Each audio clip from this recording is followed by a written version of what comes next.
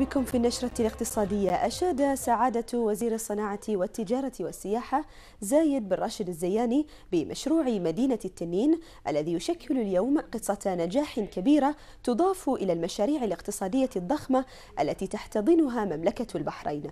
وقال لدى زيارته التفقدية للمشروع بأن الخطوات الطموحة التي تنتجها شركة ديار المحرق في استحداث وتطوير المشروعات العمرانية العملاقة ذات القيمة الاقتصادية والسياحة العالية هي محل تقدير وإشادة من لدن الحكومة الموقرة مؤكدا أن الوزارة تساند مثل هذه المشروعات الضخمة وتقدم لها كافة التسهيلات المطلوبة لإنجاز أهدافها.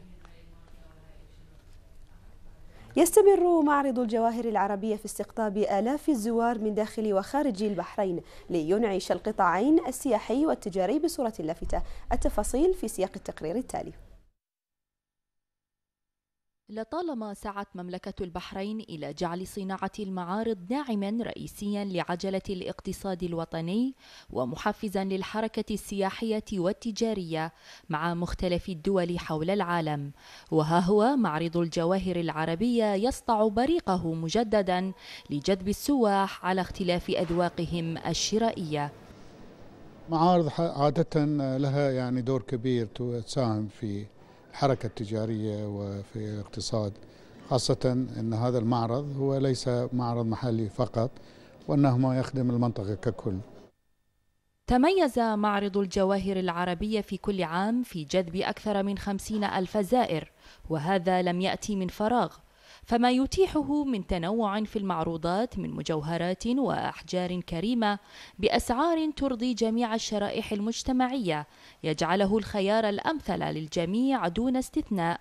وللؤلؤ البحريني نصيب وافر من الاهتمام أيضا. اللولو في الوقت الحالي إحنا الحمد لله رب العالمين طبعا يعني صار شيء يفودونا أول شيء فودونا الله يسلمك الصين بدأت تستزرع اللؤلؤ فصار ما له قيمه المزروع. والناس بدأت آه، ترجع حق اللولو الطبيعي اللي يحبون اللولو. الشيء الثاني اللي هو الحين آخر سنتين اللي هو صار الالماس المصنع. فالناس صارت تخاف لأن ما في ولا إنسان يقدر يفرز لك الألماس فيما عدا ماكينة. معرض الجواهر العربية يحتفل بربع قرن على انطلاقته الأولى بعد أن تحول إلى قبلة الباحثين عن التألق والتميز. وبات حدثا عالميا ينتظره هواة اقتناء وشراء المجوهرات والتحف الثمينة والساعات الفاخرة بفارغ الصبر. مساحة عرض ذهبية لا تتكرر إلا مرة في كل عام.